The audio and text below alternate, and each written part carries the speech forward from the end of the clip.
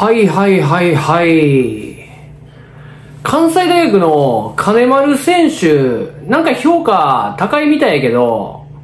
実際マジでいいピッチャーなのかっていうのを今日徹底解説していきたいなというふうに思ってます。てな感じで始まりました。小山翔平ベースボールチャンネルです。今日も最後まで見れてください。よろしくお願いします。はい、今日はですね、ちょっとドラフトの、まあ、候補というかね、えー、まあ、ドラ1、えー、候補の、まあ、金丸選手について、ちょっとお話ししていきたいなというふうに思ってます。あのー、先日ね、ちょっとこう、ドラフト戦線に動きありまして、まあ、あの、広島がね、えー、宗山選手の1位を公言したりとか、まあ、ちょっと驚きあったんですけどね、あの、小園選手とか、あの、矢野選手とかいろいろいるんじゃないかみたいなね、ところありましたけども、まあ、そういうふうに公言したというところですね。で、中日に関しても、なんかその、金丸選手で行くんじゃないかとかね、で、巨人に関しても、まあまだ決まってはいないし、まあ迷ってるみたいな感じのね、コメントありましたけども、まあおそらくピッチャーで行くんじゃないかな、みたいなところはね、えー、少し、えー、発言のところを見ててもあるので、まあそういったところで多分今年のドラフトの中でね、えー、一番いいのって彼、えー、金丸選手かなというふうに思うので、まあ本当にそのピッチャー、金丸選手がいいのかとかね、うん、あじゃあ良かったとして、えー、じゃあどこがいいのかみたいなところ。も含めて、まあ成績なんかも見見ながらね、えー、ちょっとね、えー、お話していきたいなというふうに思ってます。えー、まず最初になんですけど、実は、あの、彼と同じ大学なんですね。関西大学というところで、まあ、いろんな僕動画見たりとか、まあ、あの、サムライジャパンに選出、トップチームのね、えー、された時の投球とかをね、あいろいろ見たんですけど、まあ、あの、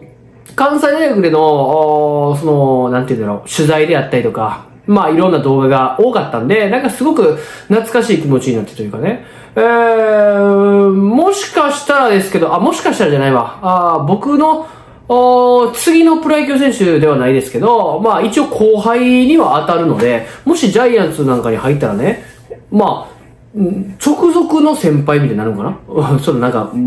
もうやめて、もう今 YouTube やってるけど、まあそんなことどうでもいいんですけど、まあ、その、ちょっとね、えー、まあ親近感はありますというところですね。で、えー、まあ、映像とか、映像じゃないわ。まあ、いろいろ成績とか、あのー、まあ、僕の金井丸選手に対してのコメントとか言う前に、えー、彼が所属している関西学生野球というところをちょっとお話ししたいと思うんですけど、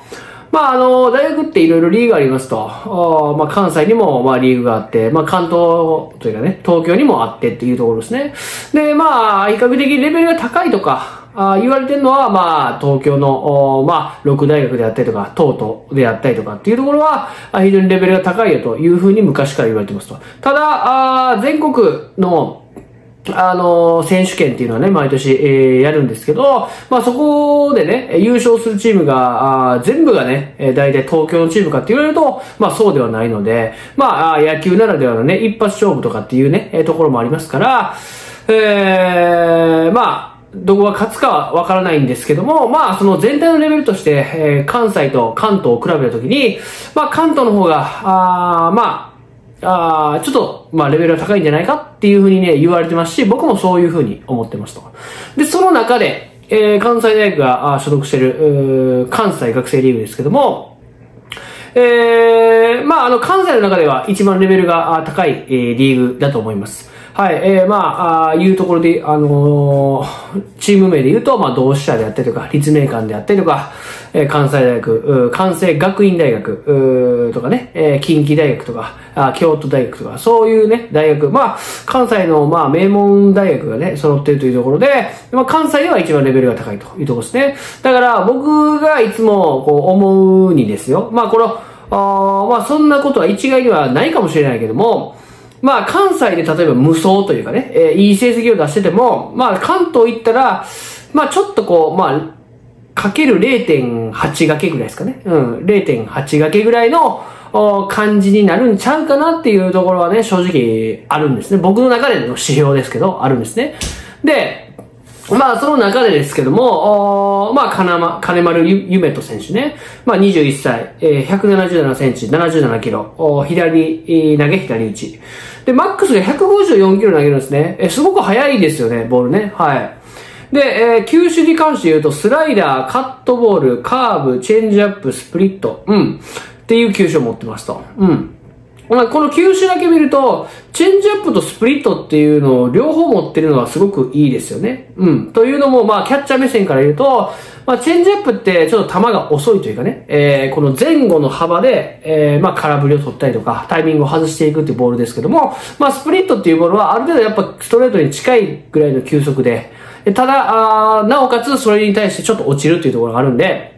まあ、ゴロを打たせたりすることもできる球種だし、まあ、空振りを奪える球種でもあるので、まあ、非常に、えー、落ち玉を2つ持ってるっていうところで、えー、チェンジアップとスプリットを2つとも持ってるっていうのは、まあ、非常に、えー、いい選択というかね、いい、いいバランスなんじゃないかなと思いますと。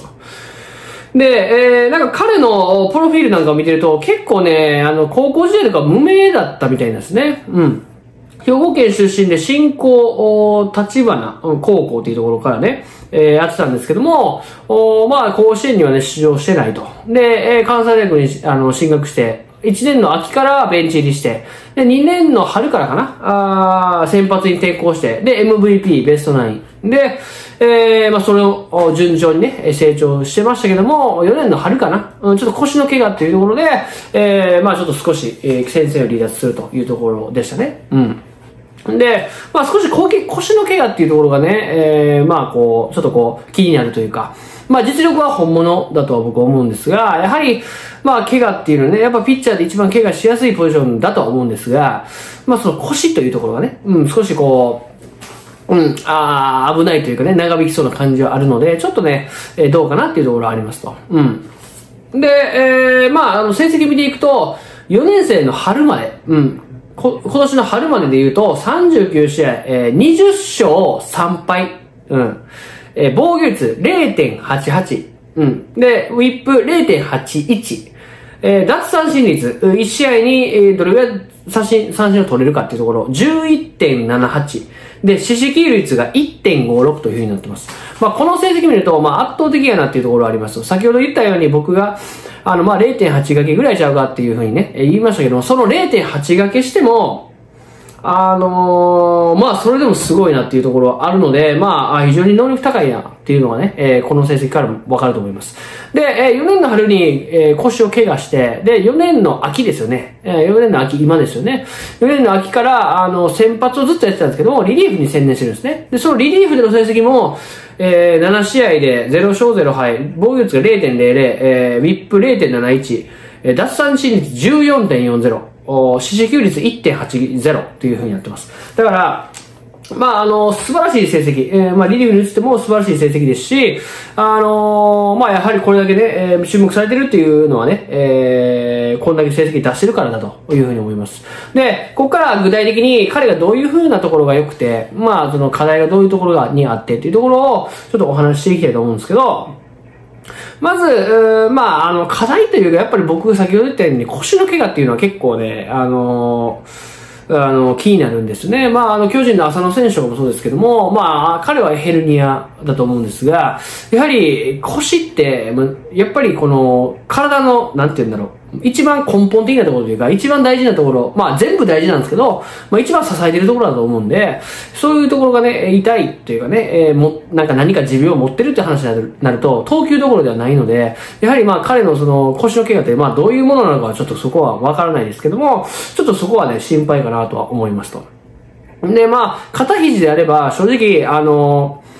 あの、投げ、例えばプロでね、10年、20年やってったとしたとしたら、あの正直怪我してない人って、ほとんどいないと思うんですよ。肩肘、どっちかを痛めたことがない人。プロで、まあ、先発なり、えー、リリーフをやったことあ、やってる人で、肩肘を一回も怪我をしたことがない人って、多分割合的に相当少ないと思うんですね。だから、まあ、いずれにしても、多分、絶対痛めることがあると思ってるんで、だから、肩肘であれば、まだ僕の場合、問題ないんですよ。うん、もう全員が通る道だから、トミー・ジョンであったりとか、まあいろいろね、えー、まあ肩の痛みであったりとか、絶対誰、大体あるんで、もう9割5分、5分ぐらいはもうほぼ絶対痛めてるんで、そこはね、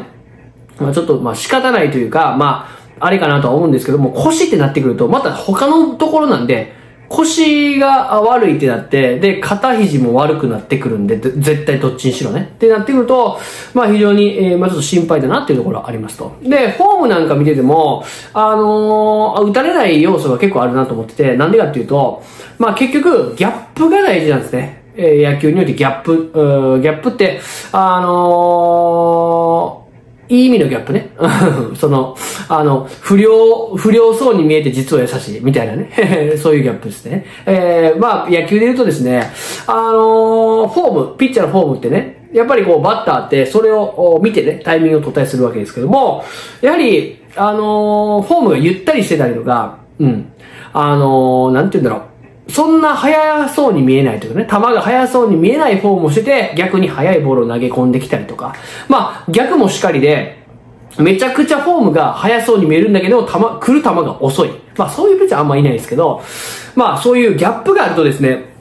やはり目を使って、視覚的にその騙されやすいというか、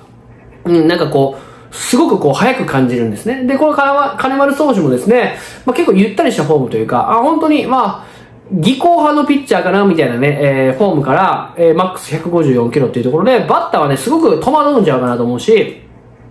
特に侍ジャパンとかの時もですね、まあ、初対戦のね、えバッターがね、えー、来るんで、多分それはすごく、うなんていうんだろう、そういう風に感じたというかね、差し込まれ、差し込まれるなっていう風に感じたと思うんですけども、それもやっぱり彼のフォームがゆったりしてる中で150キロオーバーを出すっていう、まあその、いい意味でね、すごくギャップがある投球なんで、えー、バッターはね、すごく差し込まれたりとか、逆に彼もね、えー、そうやってチェンジアップであったりスプリットっていう球種があるので、バッターが、あ、差し込まれるなと、ストレート速いなというふうに思って、じゃあちょっとタイミング早めに取ろうかって思った時に、そのチェンジアップであったりとか、つえー、スプリットって投げてくると、より効果的になるんで、まあ非常に、えフォームと球の速さがですね、えー、合ってないっていうのが彼の、まあ一番のいいところじゃないかなと思います。で、その中で、えー、まあ、四死球率というところも低いですと。うん。で、特にやっぱり少し、えー、まあ、あの、いい意味で、うん、回転数が多いというか、ちょっとこう、なんて言うんだろうね、僕は、うーん、ちょっと危ないな、肘が危ないなって思うような投げ方なんですけど、ちょっとこう、なんていうの、肘の柔らかさとか関節の柔らかさを使ってこう、しなるようなね、感じで腕をね、左の腕を使うんで、あの、使うんで、えー、低めのボールがあんま垂れないというか、スピン量が結構多いかなと思うんで、結構低めボールかなっていうところが、あ低めこう、垂れずにこう、最後ミットに収まるっていうところがあると思うんで、バッターからしたら非常にえー、そこの出し入れですよね。低めのストレートの出し入れ。ストレ低めにストレートドーン。で、そこからスプリット、チェンジアップ落とすってなってくると、やはりバッターは見分けがつかなくなってくるんで、非常にやはり、えー、彼の投球を支えているのは、フォームというところ、いい意味のギャップがあるというところと、まあ彼のね、コントロールの良さ。特に低めのボールに対して、えー、伸びるボールを投げれる。で、そこから、あチェンジアップであったりとか、ああスプリットを落とせるというところで、バッターはすごく、なんていうの、見分けがつかないというかね、えっていうところで、空振り率であったりとか、脱三振っ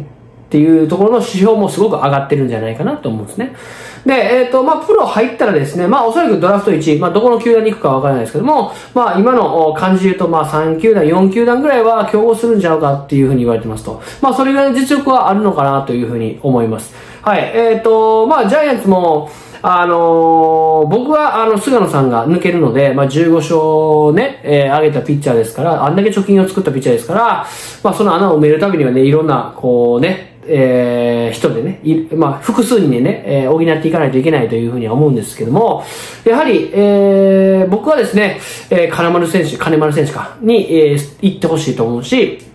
まあ、左というところでもですね、井上投手であったりとか、グリフィン投手であったりとか、あそういうね、え投手も、いてますからね、そこに金丸投手が入って、まあ、あの、非常に、えー、左腕王国じゃないけども、まあ、横川投手とかもね、今成長してますし、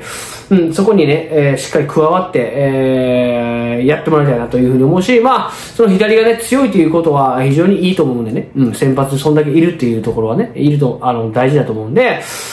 まあ、あの、まあ、どういう風な戦略になっていくかわからないですけども、まあ、巨人の場合、えー、まあ、先ほど言いましたように、まあ、菅野さん抜けると。で、えー、まあ、いろんなところね、えー、今年はピッチャーを補強してうまくいったっていうのがあるんで、まあ来年どういう野球になっていくかわかんないですけども、まあ、安倍監督っていうのは、どっちかというとバッテリーを中心にっていうようなね、えー、考え方の、おあの采配をされるのかなというふうに思うので、そういったところでは、あ金丸選手、まあ、競合覚悟で狙っていくっていうところは、非常に、えー、大事なんじゃないかなと思うし、まあ、その競合間違いなくするんで、まあ、その外した後のドラドラフトの戦略というところも、まあ、おそらくね、ドラ、あの、しっかり練ってるとは思うんで、うん、そこはね、期待して、えー、まあ、その、僕の本当の本当後後輩って言ったらちょっと気持ち悪いですけど、うん、なんか、お前調子乗ってるって言われますけど、本当にね、えー、大学も同じだった選手が、あ同じ僕がいた球団にですね、ドラフト1位でしら指名されるっていうのは、すごく、なんかこう、感慨深いというか、非常に、えー、えー、いいなというふうに思うので、ぜひね、ジャイアンツは金丸選手を指名して、えー、競合すると思うんですけど、安倍監督がね、駅に当ててほしいなというふうに思っています。はい、そんな感じで今日金丸選手見ていきましたけども、まあ、まとめるとですね、まあ、非常にいいピッチャーですと、バランスの取れたいいピッチャーですと。ただ、僕の中で腰の怪我っていうのが少し心配ですと。うん。で、えコントロール、ですね、フォームもいい意味でギャップあると。で、えー、まあ、侍ジャパンでの投げてた動画も見ていましたけども、まあ、大舞台にもね、え、強そうというか、強心臓みたいなところも、えー、物おじしないみたいなところもね、えー、すごくありましたし、マウンドさばきも非常にいいというところで、あの、間違いなくね、えドラフト1位で指名されますし、うん、競合すると思うんですけども、まあ、できればね、ジャイアンツが引き当ててほしいなというふうに思いました。はい、そんな感じでね、今日は終わったこと思います。その前にですね、チャンネル登録者数5万人目指してますんで、えー、ぜひまだの方いらっしゃいらっしゃいましたら、チャンネル登録、ポチッとよろしくお願いします。はい、そんな感じで今日は終わってきます。いつもありがとうございます。これからもどうぞよろしくお願いします。そんな感じで今日は終わってきます。じゃあ、バイバイ。